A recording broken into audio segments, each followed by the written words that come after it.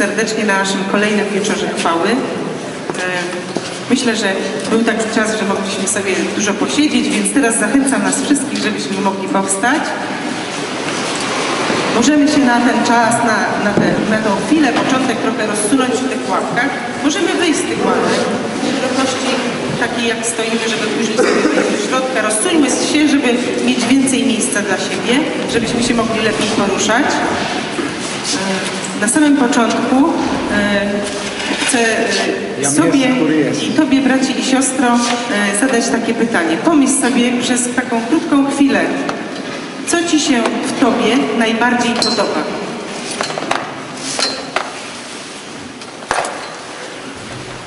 I to dobro, które jest w Tobie, to zachęca mnie każdego dnia, niech w każdej chwili, i tu i teraz, niech wypełnia każdy Twój brak, każdą pustkę, każdy, e, każde miejsce, w którym czegoś Ci brakuje. E, Chciałabym na początku zaprosić nas, abyśmy mogli rozradować się sobą, czyli też abyśmy naszym ciałem mogli uwielbić, uwielbić Pana Boga, bo On tutaj jest jest dobry. E, I chcę, abyśmy mogli rozradować się Jego obecnością. Zachęcam Cię, zachęcam Cię braci i siostro, abyś był dzisiaj darem dla tej siostry czy brata, który stoi po Twojej lewej lub prawej stronie.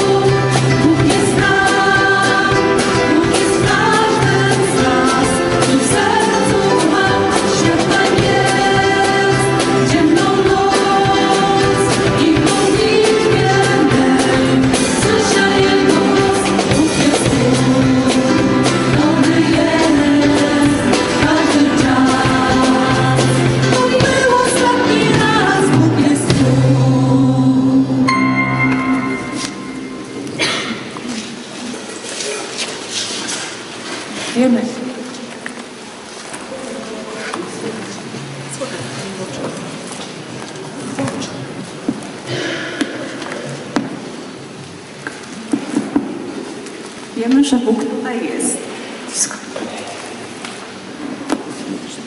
Najlepiej jest mówić do mikrofonu, to wtedy jest dobrze.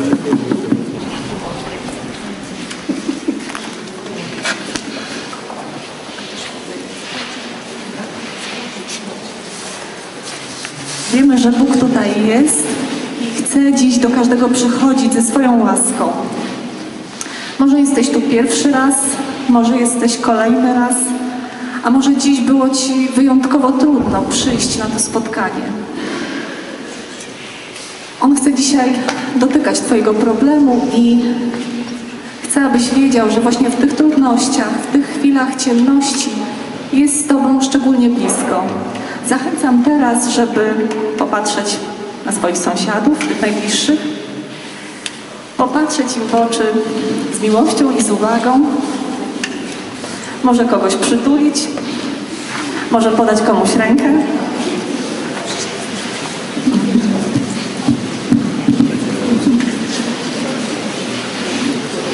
Raz, raz, dwa, trzy, raz. Droga siostro, drogi bracie, e, Jezus patrzy na Ciebie oczami Twego brata, Twojej siostry. Jezus przytula Cię ramionami Twoich sióstr i braci. Przytula Cię do swego serca i mówi Ci, że zawsze masz w Nim swoje miejsce. On przygarnia Cię z miłością i mówi, nareszcie jesteś.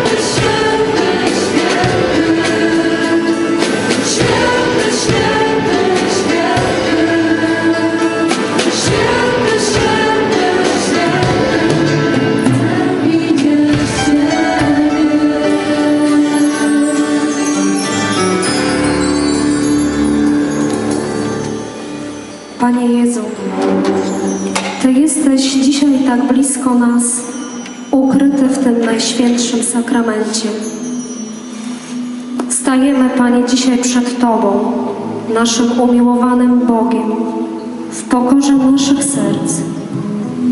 Wpatrujemy się w Twoje miłosierne serce, z którego wypłynęła krew i woda.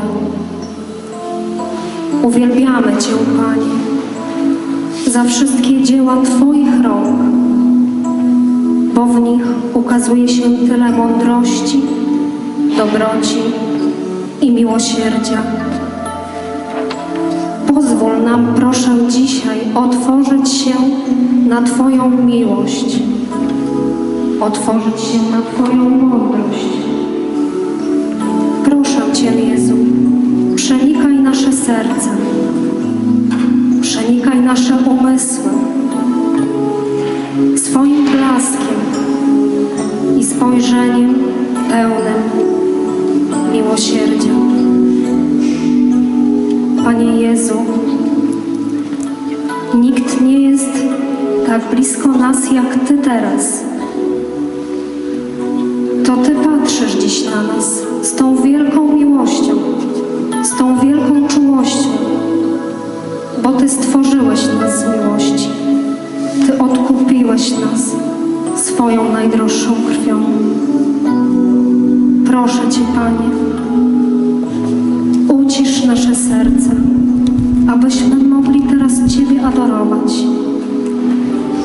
naszą nieskończoną mądrość i miłość.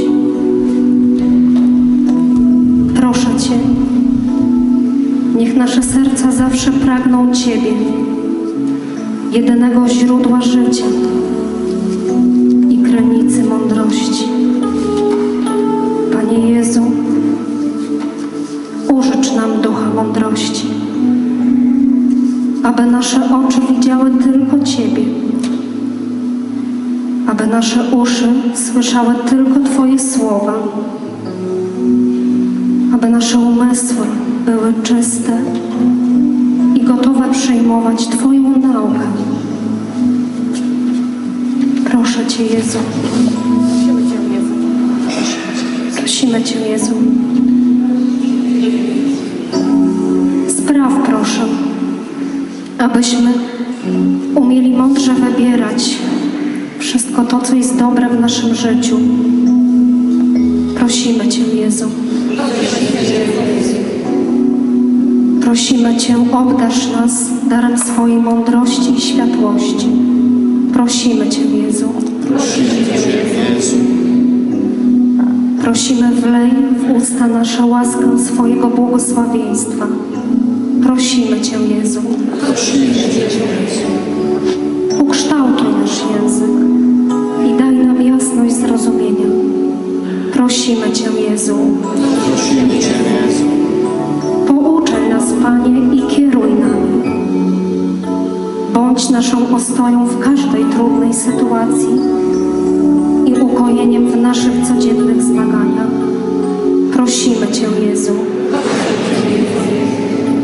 Panie Jezu, w Tobie znajduje się wszystko, czego serca nasze mogłyby dzisiaj zapragnąć. To Ty oświecasz nasze umysły i czynisz je zdolnymi do głębszego poznawania Ciebie.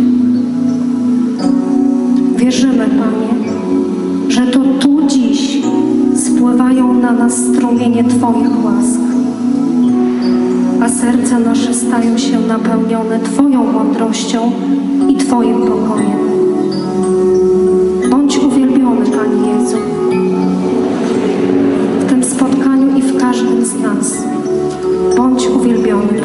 Panie Jezu. Moją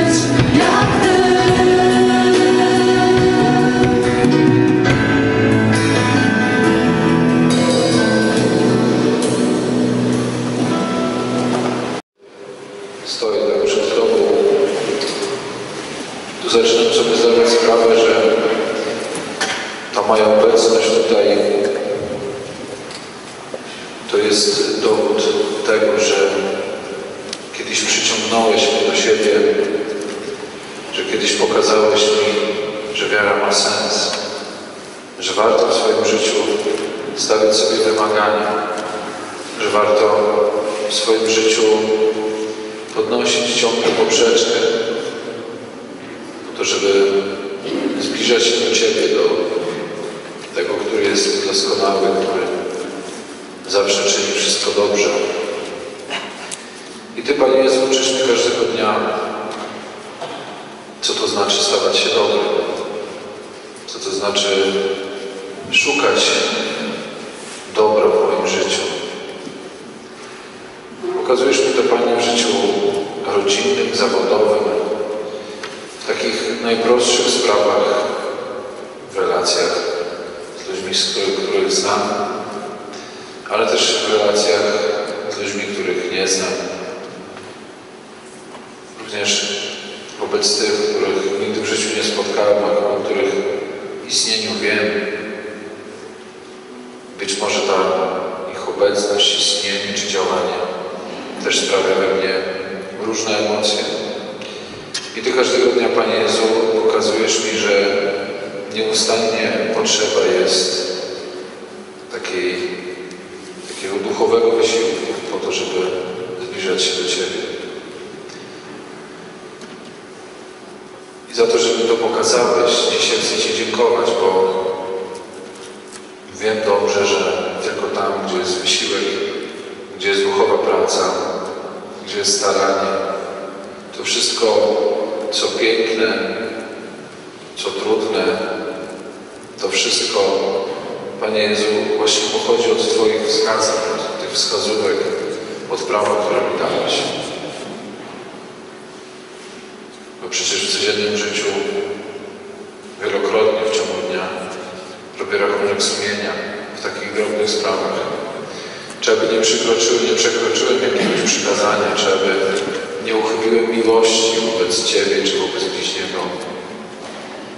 Czy nie dotknąłem tej granicy pomiędzy grzechem a czynem pozbawionym znamion grzechu. I w ciągu dnia wielokrotnie, Panie Jezu, uczysz mnie kontrolować moje życie. I dzięki temu, że mogę stawiać sobie wymagania, dzięki temu, że mam przykazania, które od Ciebie podchodzą, dzięki temu też wzrastam świętości, dzięki temu staję się coraz lepszym człowiekiem, ale też widzę w swoim życiu coraz więcej. Bo kiedy ta droga wymaga, ta trudna droga życia duchowego. Odbiera mi pewne rzeczy, pewne przyjemności, pewne słowa, pewne zachowania, pewien styl życia, który Tobie się nie podoba, to z drugiej strony, Panie, pokazujesz mi, jak piękne jest życie z Tobą, jak piękne jest życie drogą Twoich przykazań, że nie jest to droga zakazów, że nie jest to droga wymuszeń i nakazów. Jest to droga, którą Ty przy stworzeniu wytyczyłeś mi. Ta droga najlepsza. Ta droga, na której nie potknę się i nie zbłądzę. Dałeś mi przykazanie, żebym wiedział, jak ta droga biegnie. Dałeś mi te przykazania, żebym w swoim życiu nie musiał patrzeć pod nogi, żeby nie popełnić żadnego grzechu. Dałeś mi przykazania po to, żebym nie musiał skupiać się na grzechu, który popełniłem, ale żebym mógł skupić się na pięknie Twojego stworzenia. Żebym zamiast iść drogą kamienistą i wyboistą, wąską i ciemną, żebym mógł iść szeroką drogą, drogą Twoich przykazań, drogą Ewangelii, drogą miłości Ciebie i bliźniego. I na tej drodze widać dużo lepiej. Na tej drodze, którą Ty mi dałeś, widzę lepiej dar rodziny, dar bliskich, dar tych, których w życiu spotkałem, których nazywam przyjaciółmi. Widzę,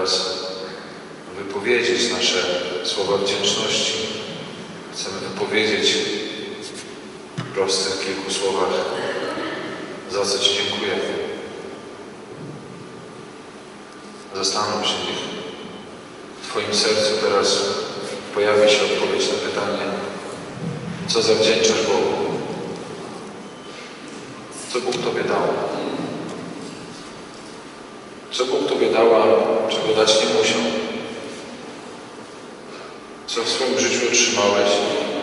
Co daje Ci wiele radości, szczęścia, może nadaje sens Twemu życiu?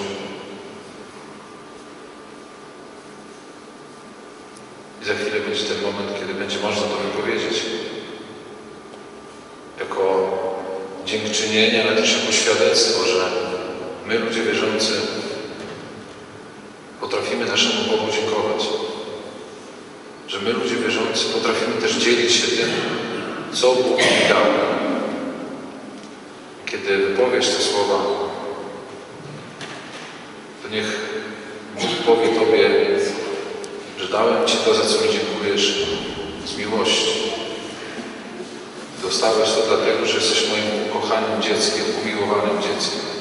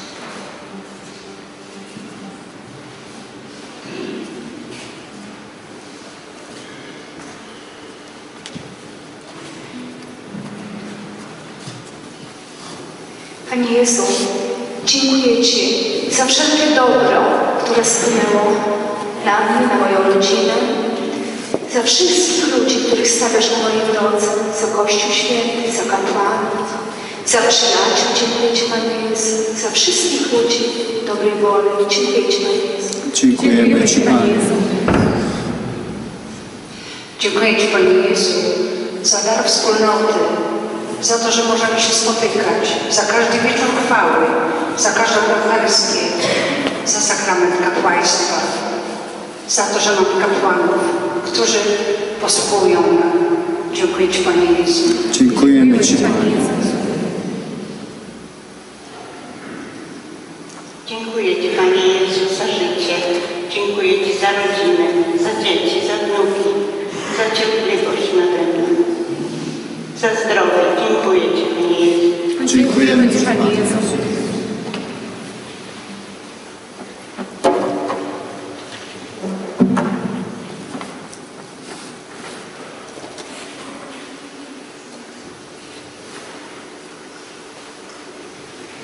читание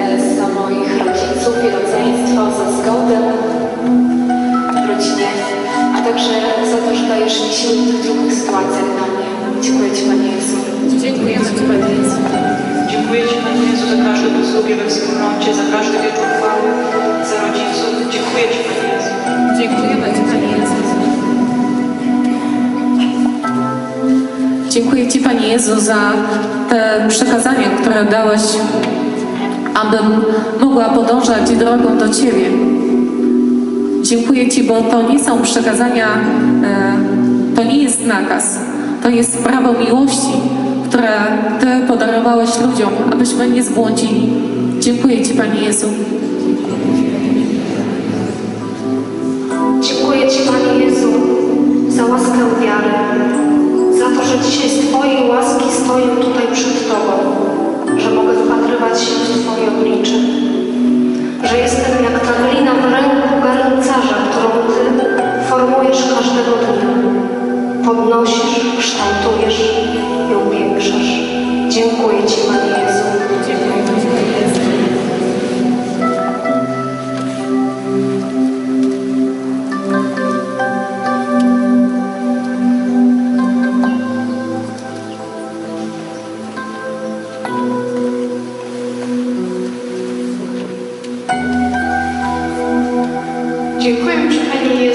fałszu, mojej rodzinie wszystko się buduje. Dziękuję Ci, Panie Jezu. Dziękujemy Ci, Panie Jezu. Dziękuję za wszystko, co mnie otacza, za miłość do świata, za inne patrzenie, na wszystko, co mnie otacza, na mojej krewnych, bliskich, na moją rodzinę. Dziękuję Ci, Panie Jezu. Dziękujemy Ci, Panie Jezu. Dziękuję Ci, Panie Jezu, za Twoją miłość, którą nam okazałeś na krzyżu. Dziękuję Ci, Panie Jezu. Dziękujemy Ci, Panie Jezu.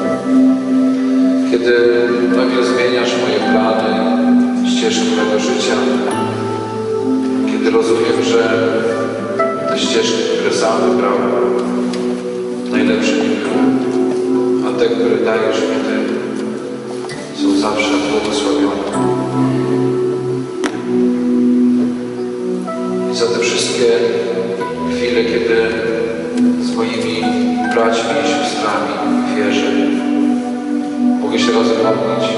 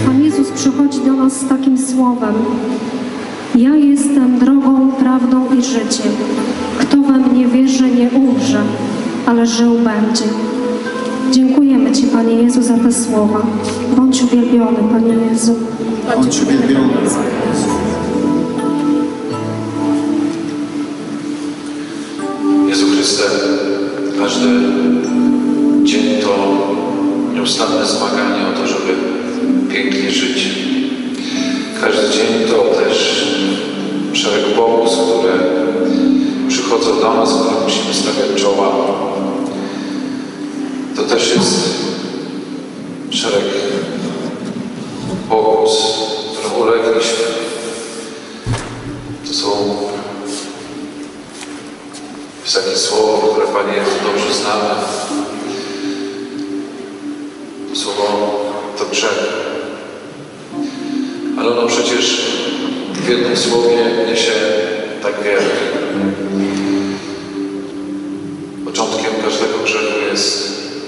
Pycha.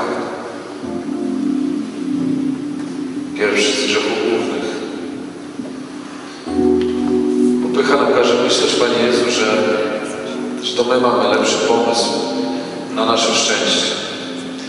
Pycha nam każe myśleć, że i tak nas będziesz musiał rozgrzeszyć, że nie masz wyjścia. Pycha nam każe mówić, że Kościół się myli w swoim nauczaniu, albo że powinienem zrobić tak, jak uważam, chociaż Twoja wola jest zupełnie inna. Drugim elementem tego słowa grzech jest zranienie Twojej miłości.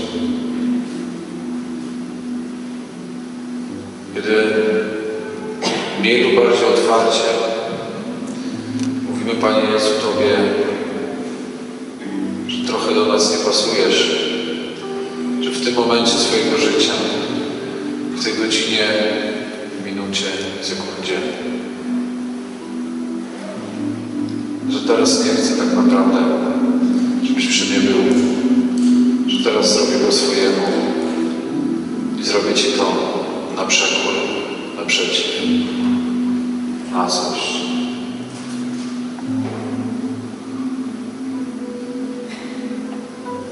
I Wtedy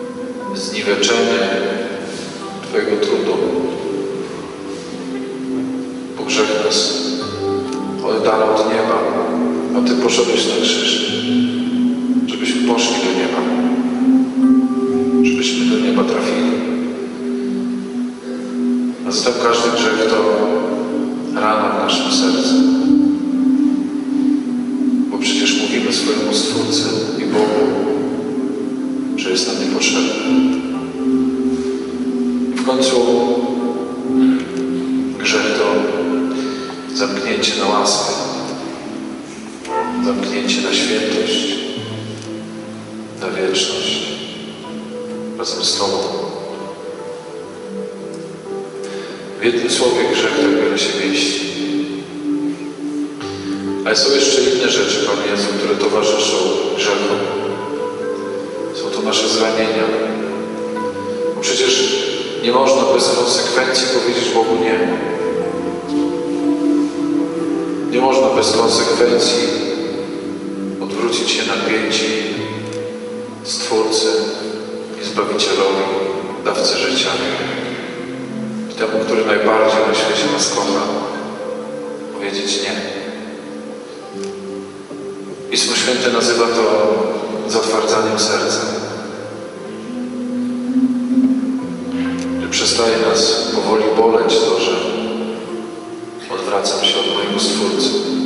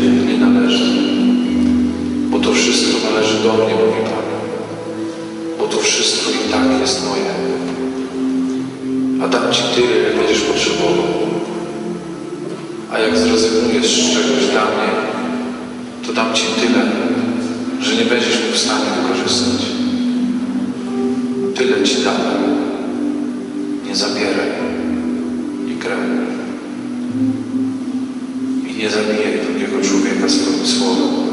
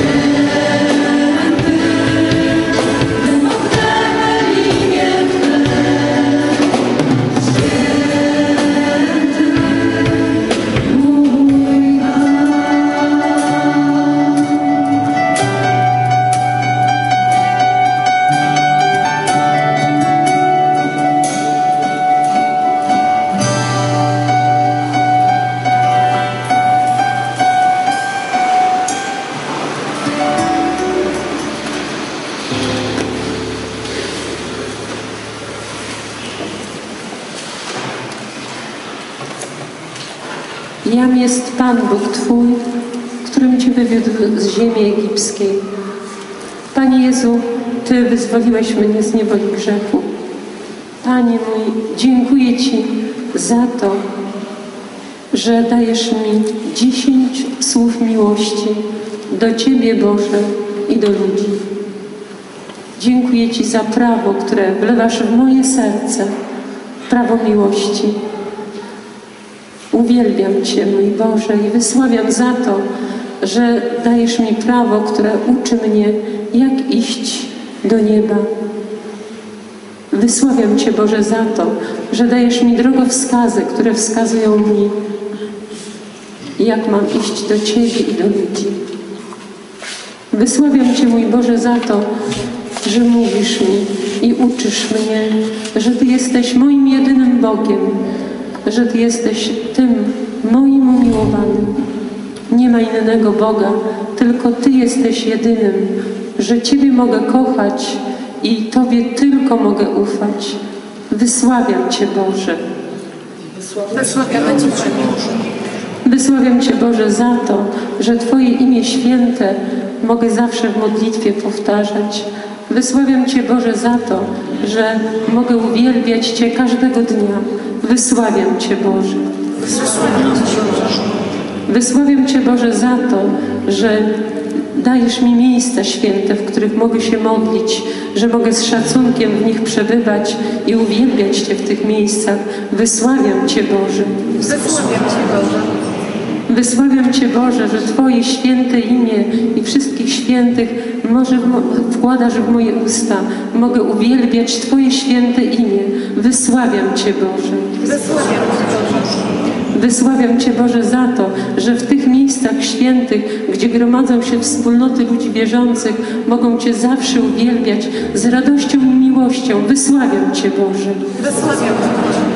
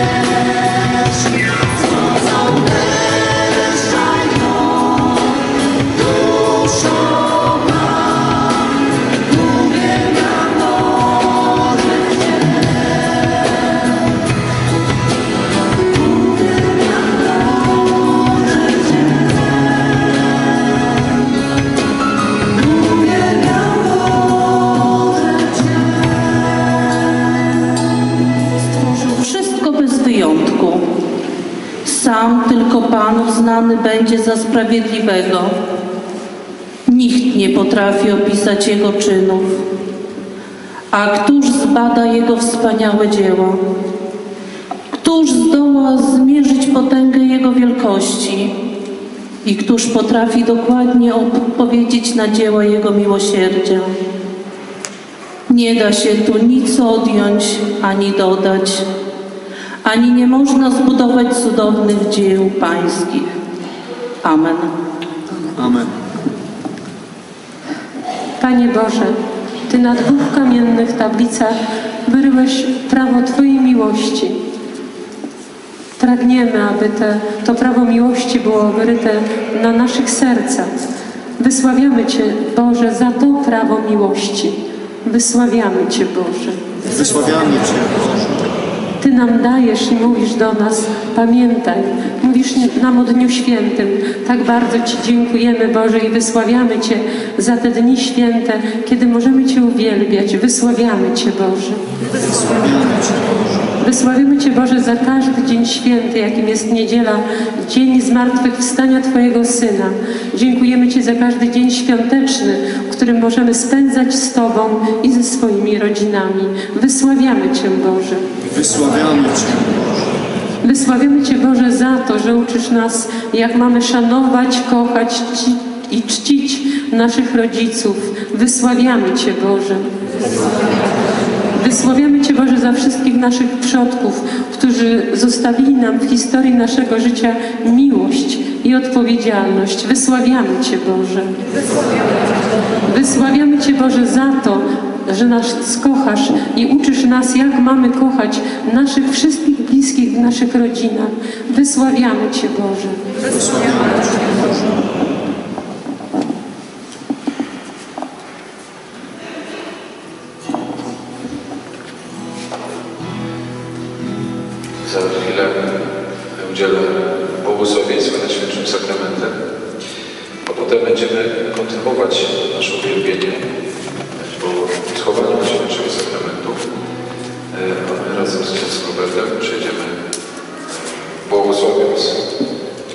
Indywidualnie wykładając ręce na wszystkich tych, którzy chcą takiego błogosławieństwa, takie błogosławieństwo otrzymać. Przejdziemy przez nogę środkową i później do bocznym każdy pójdzie w swoją stronę, więc po błogosławieństwie e, będzie pieśń, będzie trwało uwielbienie, uwielbienie niech trwa, my przejdziemy z księdzem Robertem,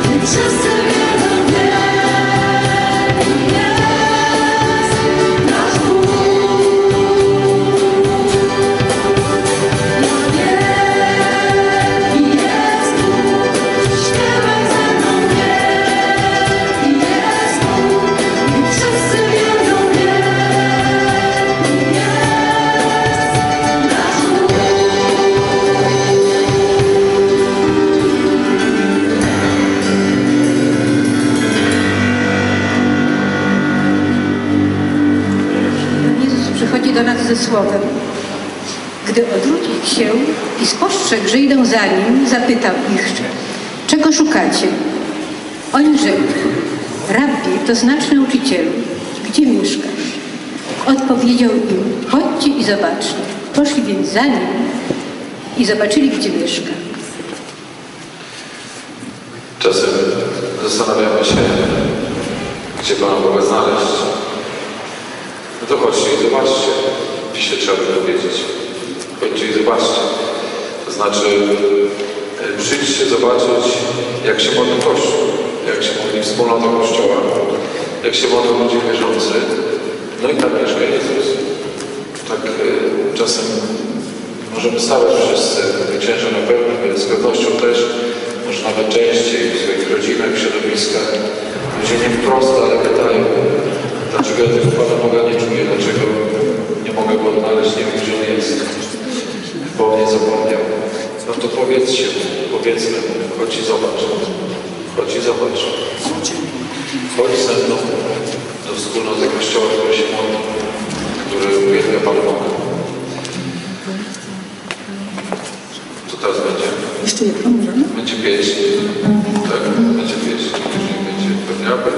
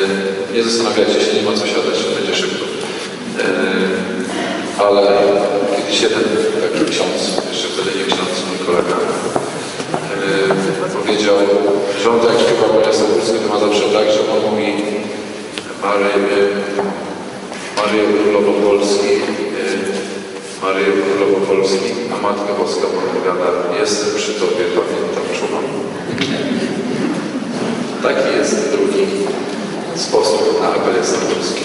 Bardzo serdecznie dziękuję za wspólną, za wspólną modlitwę.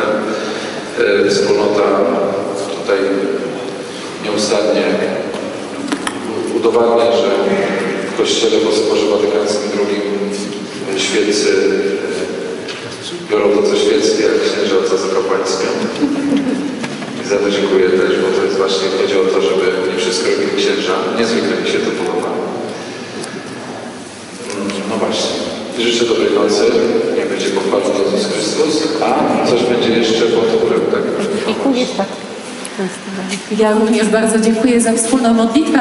E, Tu jeszcze są winogrona i chleb do dzielenia się e, to, co było na stole ofiarnym, a za ławeczkami przy wyjściu oczywiście e, zapraszam do zabrania ze sobą prawa Bożego i czasami wspomnienia, nawet codziennie w rachunku sumienia, żebyśmy spojrzeli na to, co Pan Bóg ma dla nas do powiedzenia. Także dobrej nocy, z Panem Bogiem zapraszamy za miesiąc na kolejny wieczór chwały drugą niedzielę miesiąca. A jak też ma słabszy wzrok, to można ten zabrać. Właśnie. Pomożemy zatransportować.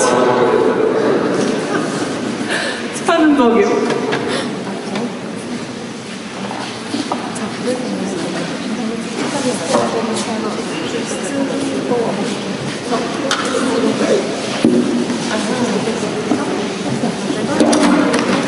Jeżeli ktoś ma bliżej, to może wziąć tu, które leżą przy ołtarzu. E, tak samo karteczki to są takie same.